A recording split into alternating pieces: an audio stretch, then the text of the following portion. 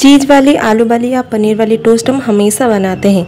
आप एक बार इस मंचूरियन टोस्ट को न्यू ईयर पार्टी के लिए बना के देखिए। ये थोड़ा सा डिफरेंट है। यूनिक है और इसे बनाना बहुत ही आसान है। अगर ये किसी को सर्व करेंगे तो गेस्ट आपको रेसिपी इसका ज़रूर पूछेंगे। तो हेलो दोस्तों, मैं हूँ वंदना और मेरे चैनल पे आपका बहुत बहुत स्वागत है। टोस्ट को बनाने के लिए हम एक बाउल में वन फोर्थ कप कटी हुई प्याज लेंगे। चौथाई कप बारीक कटा हुआ गाजर। उसके साथ साथ हम लेंगे एक चौथाई कप बारीक कटी हुई गोभी डाल देंगे हम इसमें। सारी सब्ज़ियाँ एक समान की क्वांटिटी में लें और इसके साथ हम डालेंगे एक चम्मच मैदा और एक चम्मच कॉर्नफ्लोर फिर इसमें हम डाल देंगे एक छोटा चम्मच चिल्ली सॉस फिर इसके साथ हम डाल देंगे एक छोटा चम्मच सोया सॉस उसके साथ साथ हम डाल देंगे एक छोटा चम्मच सेजवाइन चटनी। वेज मंचूरियन बनाने के लिए हमने जो सस यूज़ किए हैं, वो सारी सस हम इसमें डाल देंगे। फिर उसके साथ हम इसमें स्वाद के अनुसार नमक डालेंगे।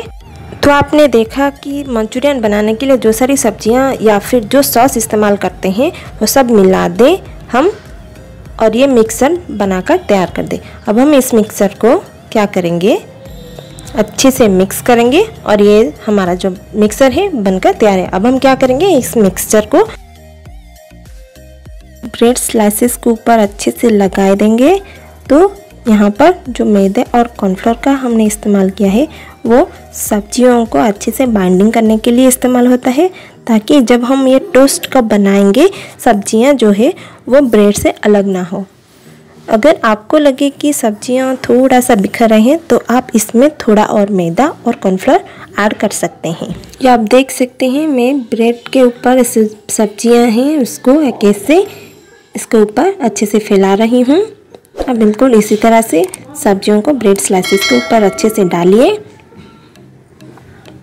अब हम इसके ऊपर डाल देंगे सफ़ेद तिल, यानी सिसमी सीड अगर आपको सिसमी सीड का पसंद नहीं है तो आप अगर चीज़ को ज़्यादा पसंद करते हैं तो आप इसके ऊपर ज़्यादा चीज़ भी डाल सकते हैं। तो ये हमारा जो ब्रेड है, वो टोस्ट करने के लिए बिल्कुल तैयार है। तो मैं यहाँ पर तवा का इस्तेमाल कर रही हूँ इसे टोस्ट करने के लिए। तो तवा को थोड़ा गर्म करके इसके ऊपर बटर डाल दें। और इसके बाद इस हमने जो ब्रेड बना के तैयार किया था, उसको इसके ऊपर रख दें और थोड़ा सा लो फ्लेम में इसके अच्छे से सेक दें। और जब ये नीचे से गोल्डन कलर हो जाएगा तो हम इसको पलट देंगे तो जब टोस्ट का पलट रहे हैं तो थोड़ा सा ध्यान रखें कि ये जो सब्ज़ियाँ हैं, वो बिखरे नहीं। ये देखिए, ये हमारा जो टोस्ट है, वो बनकर बिल्कुल तैयार है। अब इस टोस्ट को हम क्या करेंगे? गर्मा गर्म सर्व करेंगे। दो हिस्सों में कट कर। हम हमेशा घर में आलू के, पनीर के, चीज़ के या फिर मशरूम के सैंडविच हमेशा बनाते रहते हैं। आप एक बार इस मंचूरियन टोस्ट को बना के देखिए।